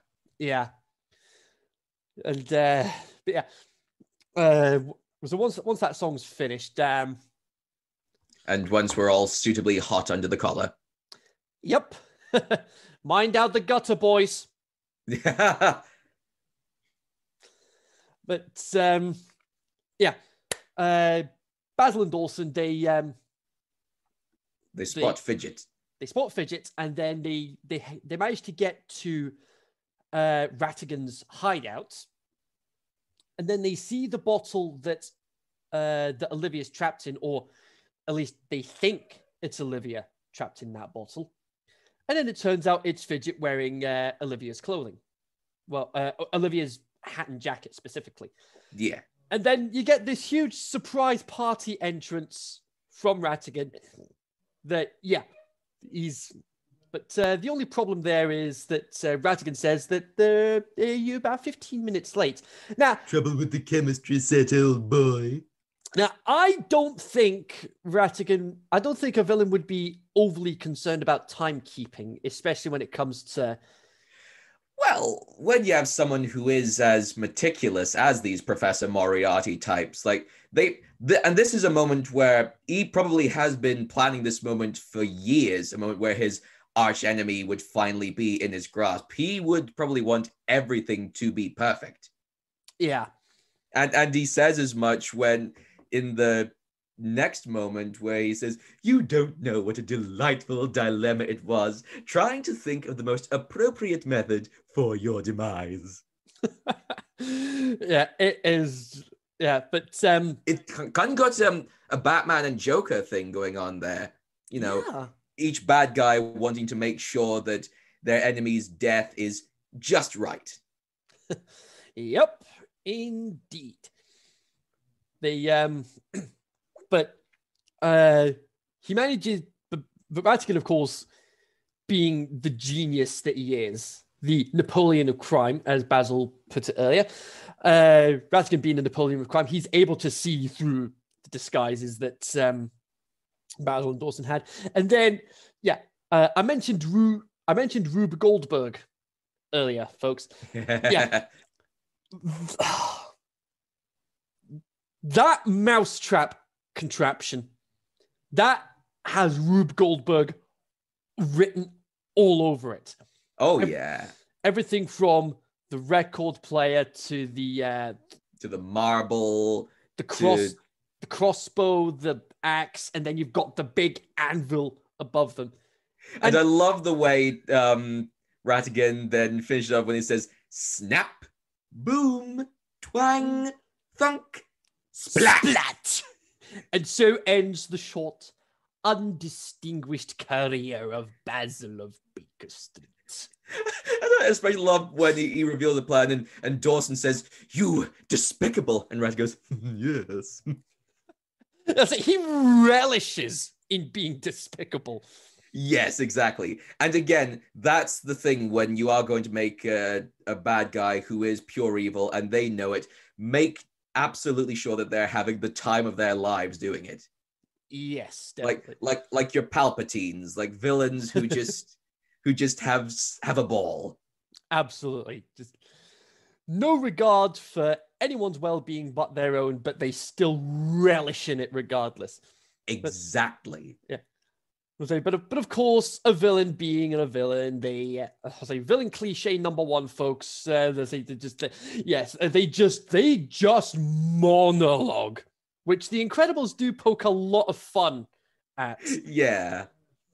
Well, and and again, like with a um a character like Ratigan, again, like they're proud of the work and the planning they've put into this, and so they want to show off. They need somebody to show off too, and that's one of Yeah. the reasons why they need somebody like um a Basil or a Sherlock Holmes or a Batman in their life, somebody who can in some way appreciate their genius.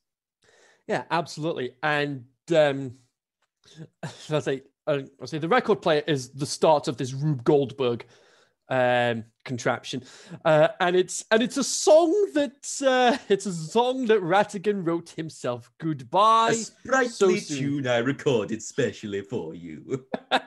yeah, you'll say goodbye so soon. That's the name of the song. And it- yes, it is Vincent Price that's actually doing the singing here. So hats off to him for that one.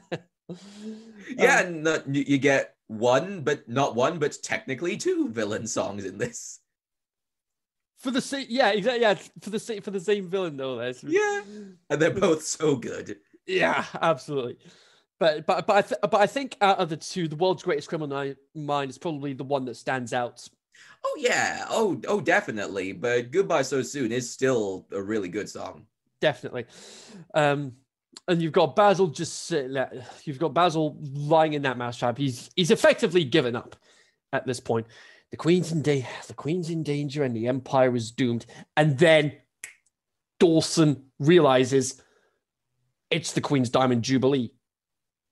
So, so then we so then we cut to Buckingham Palace with Rule Britannia in all its pomp and circumstance as well. And to that, we salute you for your music choice.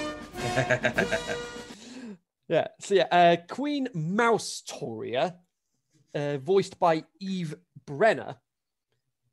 Uh, she, uh, unaware of what's going on outside, the um, uh, Ratigan's henchmen decide to take over as the guards. They knock on the door and they give and they give her they give her this huge, oversized uh, present. Uh, I think to to our beloved queen. As I can't, can't remember how the rest of it. Uh, to our beloved queen as her 60 year reign, reign comes to an comes to an end. Yeah, and then and then the present is unwrapped and that's that's the uh, robotic replica of uh, queen victoria uh, Mousetoria mm, Mousetoria it's mice but uh, and and you've got Ratigan doing the uh, the voiceover work uh, behind the car- um, uh, behind the curtain voicing, voicing the um, robot Mousetoria. Yeah, uh, and you've and it's and it's Flaversham that's uh, doing all the uh, uh, the The controlling. operating. yes, yeah. the operating. Yeah, um, and then and and then and then the scripts that, and then the script that Flaversham has to adhere to, Ratigan ends up being the con ends up being appointed. Uh, appointed, I say that in air quotes, as Yes. the as the royal consort to um, Mousetoria and just the gasp and one of the kids with a raspberry blow as well. Just, just like, it's just brilliant. Um, and then and then we cut back to Dawson and Basil, and Dawson's just like, right, okay, right, right. If you've just given up at this point, why don't we just set the trap off now and be done with it? And then, and then maniacal, maniacal look on his maniacal expression aside, folks. Yeah. but it, but it is. It's like it is pretty maniacal, but, but Yeah. as as if he's just completely lost it. I mean, well, they do say that there is a thin line between genius and madness. Yes, a very fine line, and it's difficult to and uh, and and of course, uh, and of course, it's sometimes difficult. A lot of the time, it is very difficult to tell tell the difference between the two. But- yes, but there are characters like Basil who you think might have a toe in both.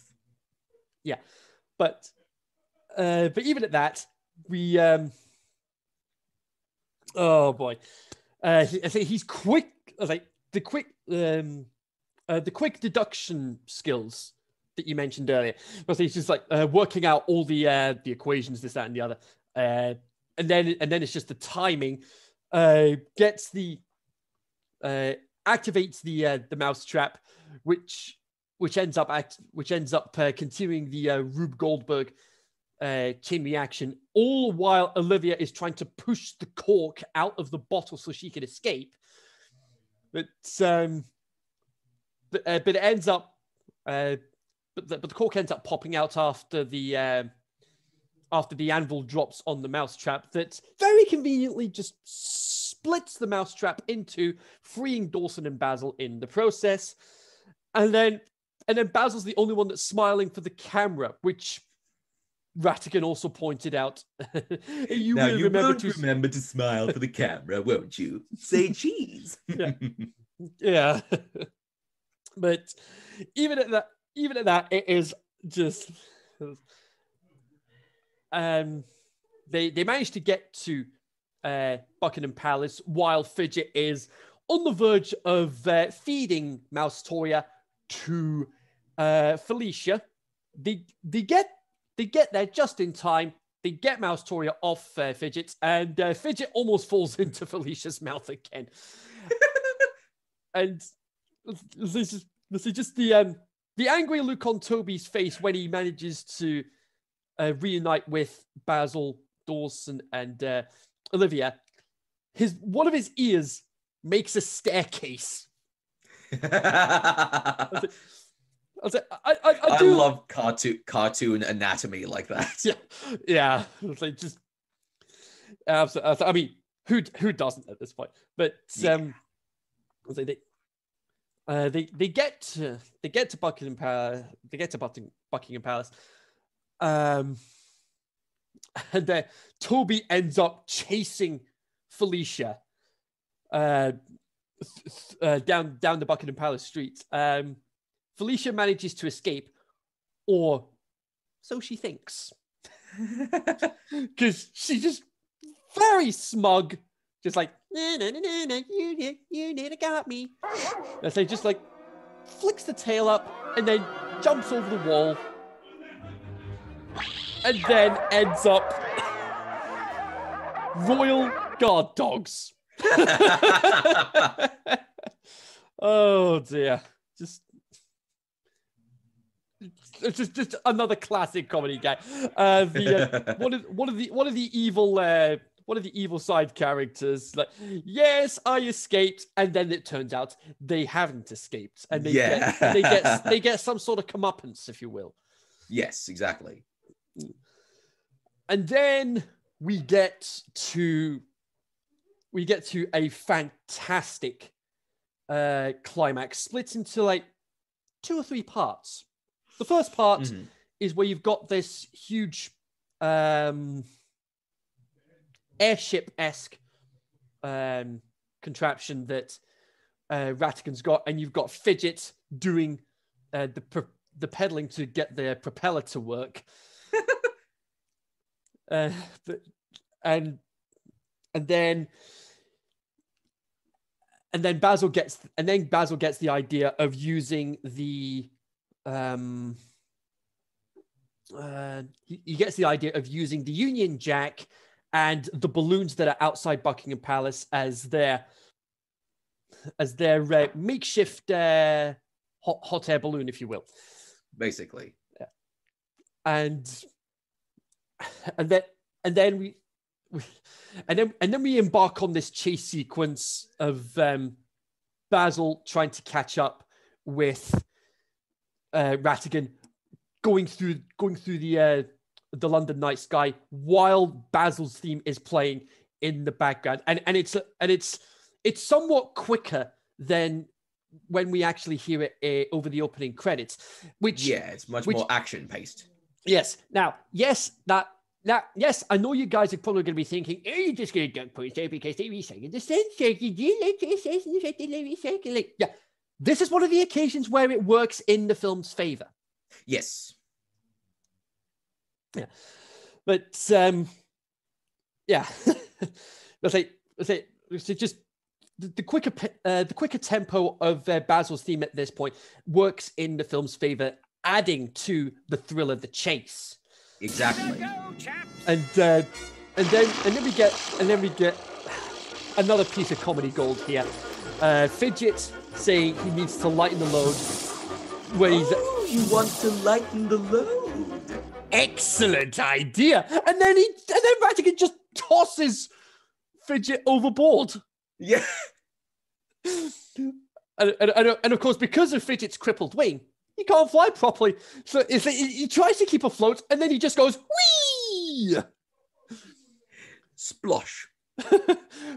Yeah, and, and and given roundabout, given the location they they're at, they're at uh, at this point, uh, yeah, they're, they're they're definitely somewhere like over like uh part of over part of the River Thames. Yes. It- though I, I did read that there was um, a novelization of the movie which which clarified that he did in fact survive the fall. There you go, folks. So Fidget is uh Fidget's okay. He he he, he lives to kidnap another day. Yes. But um, and then Basil manages to get onto uh, Ratigan's airship, and then Ratigan, uh, and while this was Ratigan he goes even faster than Fidget had done previously, uh, unaware of the fact that uh, they are hurtling towards Big Ben.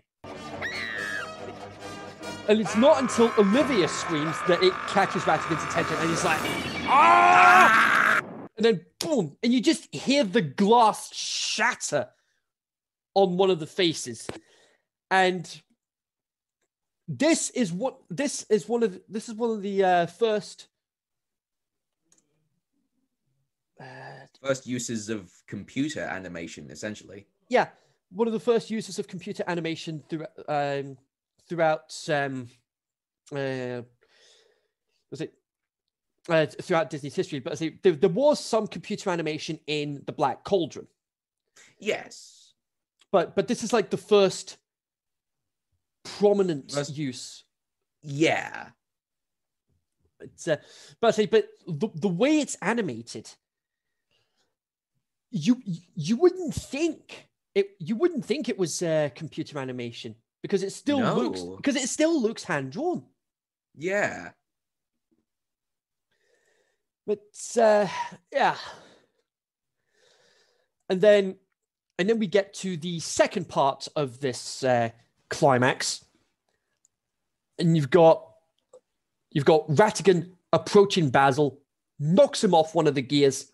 Olivia bites um, Ratigan's hand.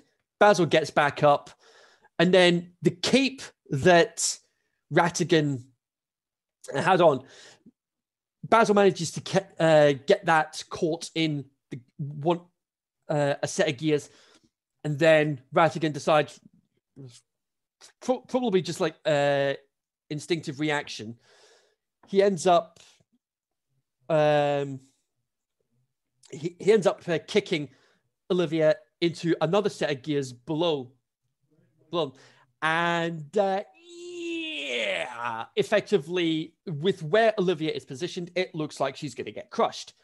But uh, Basil gets the idea of uh, activating this um, this lever to start the start the chain to to start like shooting up towards where Olivia is, and and he manages to get he manages to get her safe and sound, and then we get to. Yeah, I say, I mean, I, th- I, th- I think the second part of this climax is probably sort of like somewhat of an interlude between between the air chase and the actual climax of the film. Yeah, itself. kind of.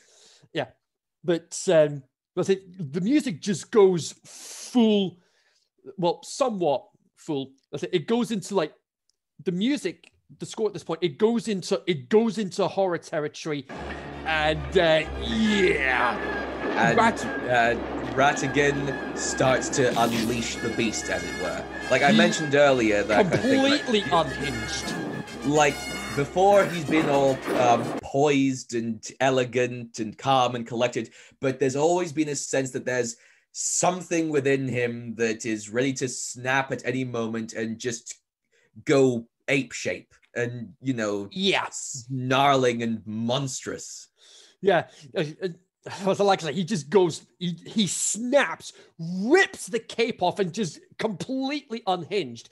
And it's at this point where you just like, yeah, you you can see the fur on his back at this point, Yeah. and you just And, hear, he, and as he crawls up the gears, you can see the rat within him. yeah, like, you, you just hear him grunting as he's making his way towards Basil, because It's he's almost like a, a, a werewolf transformation. Yeah.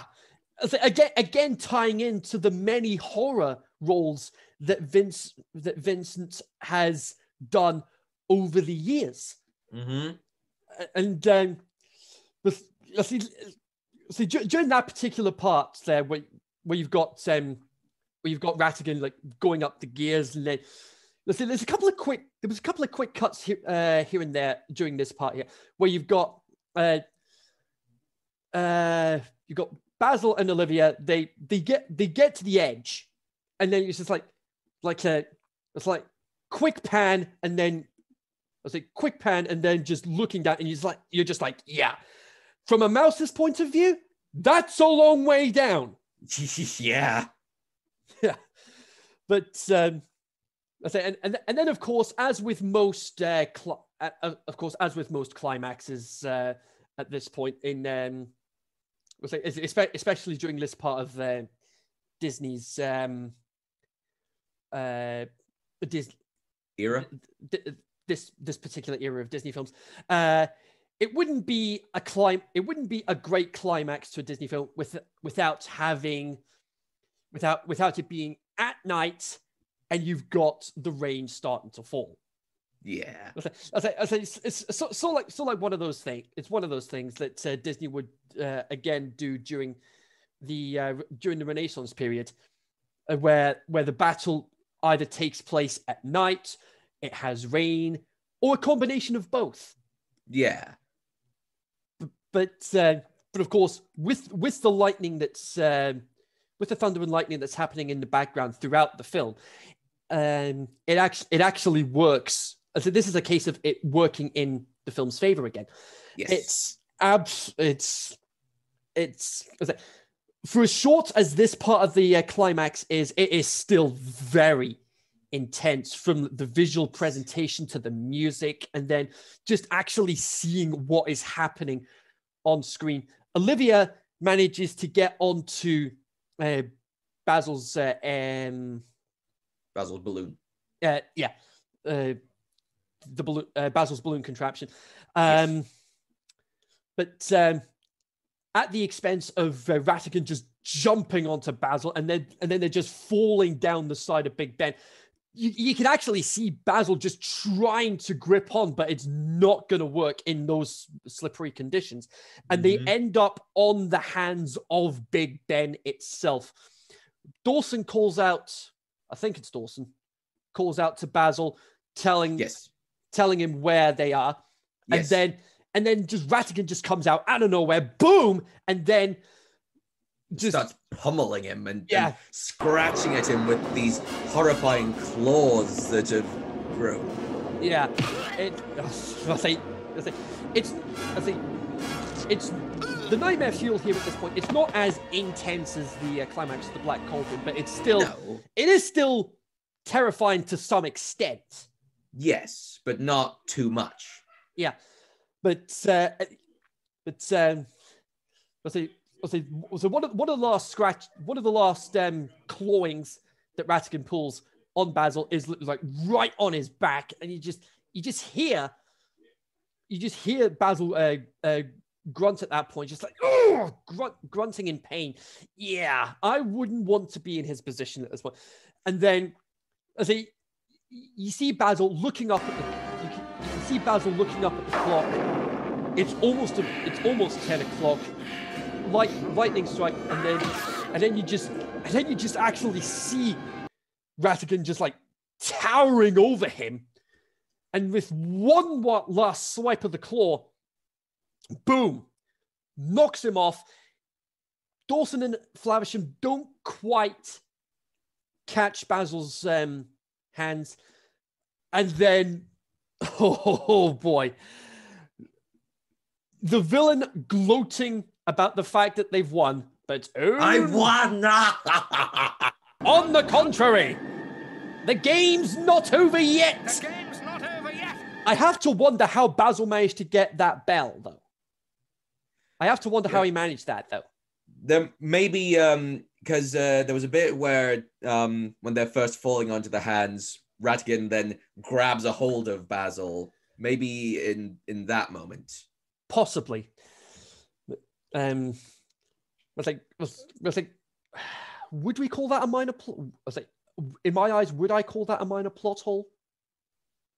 Not really. Yeah, but um, but but he, it's just it's just the look on Ratigan's face. He's just, you're just like, oh wait, wait, what? Where, wait, where's the bell? And then, and uh, and uh, I say just yeah, the iconic chimes of Big Ben when the clock strikes 10, and you just see the camera shaking. Ratigan falls off, grabs hold of Basil, and then they both fall, presumably to their death. Ratigan does, yes. But Basil, that that um that pedal propeller, that's what he managed to use to save himself. After after Olivia thinks, oh no, he's he's gone. Mhm. Yeah. Now I mentioned it in the last episode, uh, Black Cauldron, where you, Yes. we've got one of the um one one of the good guys uh, uh, supposedly dead, but turns out to be okay. This is the first time that we actually see the protagonist in well, what well in this era, especially the first time in this era that we see the, the protagonist of the film in that position Mhm. where you think they're uh, where you think yep they're dead but uh, turns out uh, they're okay. Let's again, uh, protagonists that have been in that position previously we had snow white uh, pinocchio and i think that's about it until basil came along. I might be wrong on that one folks uh, might need to might, might need to delve a little deeper into the um, into the archives regarding that one but um but all hunky dory and they and and Basil is thanked by the Queen. And, and, we, and we actually see that the newspaper, uh, the date, June 21st, this takes place over the course of like three nights. But but but with but the thing is, with the way it's edited, it's as if it's done over the course of the whole that whole just that one evening. yeah. But uh, but I but I, I, did uh, I did a bit of research as to like um the time span this film takes place over. I think it starts on it starts on June nineteenth, June twentieth being the Diamond Jubilee itself, and then that newspaper Yeah. art, the front of the paper, Yes. June twenty first. Because uh, um, in the first scene, when we see Ratigan in his lair, he pulls out the newspaper and says, Tomorrow evening, our beloved monarch celebrates her diamond jubilee. There you go. I was, I was, but of course, but of course, me watching it when I was younger, it to I say I, I- didn't re- I didn't really pick up on those m- smaller details. I, I just assumed it Yeah, just took place over the course of the that whole evening. But um, but but but but, but watching it now, it's it's easy to s- it, it, it's a bit it's more easy it's much easier to pick up on those um smaller things. "Yeah." And um, as Henry Mancini said, the pacing zips along. yeah yeah it's um yeah um uh olivia and uh uh hiram they they thank well also well uh, uh, olivia thanks um basil and dawson um and they um because uh, because hiram looks at his cl- looks at his watch and he's like oh my word we're, we're, we're late for our train train back to Scotland, I would assume. Let's say, like, I, I I would assume the train would be to Edinburgh. I might be wrong on that one, but um, yeah, probably. Yeah. Because again, judging by the dialect of um, uh, the Scottish accents, I I would assume probably somewhere around about Edinburgh region, possibly. But Yeah, um, probably. Yeah, but say uh, one running gag I did one gag one running gag I didn't actually bring up until now is the fact that you've got Basil not being able to pronounce uh, the the Flaversham name uh, Yeah. Or, correctly. or rather, not not caring enough to pronounce it properly because whenever she says um, Miss Flamhammer and she says Flaversham, he responds, Whatever. yeah, and, and, and it's actually Dawson. And when and when Basil says Miss Flangerhanger, it, it's Dawson. it's Dawson. that's just like oh whatever. Um, and then uh, it and then Dawson is on the verge of leaving to look for accommodation, and then and then and then we have this. Uh, and, and then we have this lady mouse come in at the uh, at the end, um, wondering where where Basil is, and then Daw- it's it's Dawson that answers the door, and then it's at this point that Basil introduces um, the young lady This to is my good friend Dr. Dawson, with whom I do all my cases. yes, effectively making Dawson his partner is uh, his partner in regards to solving these um, these cases. Mm-hmm. And and and, just and just the little um and, and- and just a little um monologue at the end from from Dawson. Uh, from that day on, Basil and I were a close team, solving many cases together over the years, but always looking back on on that first case with a lot of fondness as his introduction to Basil of Baker Street, the Great Mouse Detective, and uh, and uh, of course, Cinema Sins fans will um, will know where I'm going with this one. And roll credits. And that's when the credits start. You hear Basil's theme, and then you have, and then you hear goodbye so soon at the end as well. This is one of the, this is one of those rare cases of actually having uh, relatively short um, credits. Mm. But uh, yeah, that so there we go. That is um, that is it. Basil of Baker Street done in uh, around about two hours.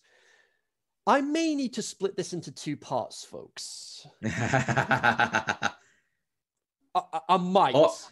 or or um snip out some of the tangents. Pro- probably probably keep maybe keep the tangents maybe keep the tangents for a separate video. maybe, maybe. Yeah, but uh, Hashtag release the tangent cut. yeah, but uh, but yeah. So overall, like like I said, a fantastic, a great return to form for um, Mhm. uh, for Disney after the uh, the poor performance of the uh, the Black Cauldron. Yeah, one of my favorite Disney films. Yeah, I say, I say, I say, same here because it's it's one of those it's one of the uh, it's one of those films from this particular era that I remember watching a lot when I was younger. Uh, Basil, uh, Black Cauldron, Oliver and Company. Was it- back- tho- those three especially. Back when we used to watch Disney movies on this strange thing called a videotape. Yeah, VHS is. yeah, it's um. Let's say it's it's let's see. This is definitely up there as one of the um. It's definitely up there as uh, another fantastic film. It's um. Absolutely. Let's say and and and, and in a way, uh, in a way, uh, for kids especially, a great way to get them introduced into the Sherlock Holmes uh, Formula. Yes. Be- before before in before getting them into the uh, the actual Sherlock Holmes um, uh, cases themselves. Yes.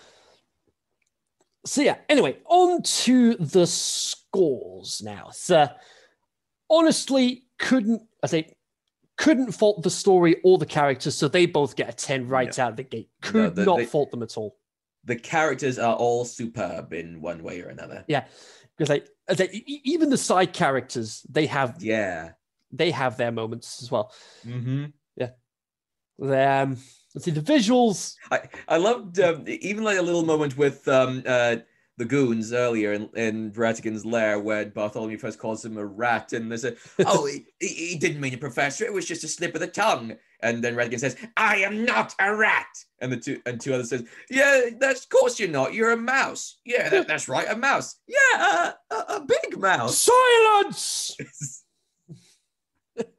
uh, a very funny cameo by Bill from Alice in Wonderland. Yes, yes, yes.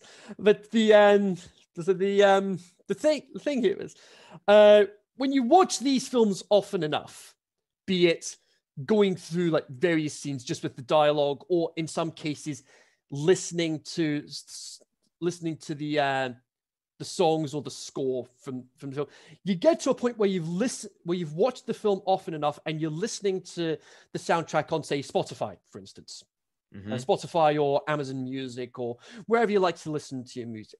The, you get to the point where you're at, uh, where in the case of um, listening to the songs, especially, you know, you just know the dialogue for those particular parts, and you just and you just decide, you know, and you just cut on a whim, you just recite the dialogue at that point.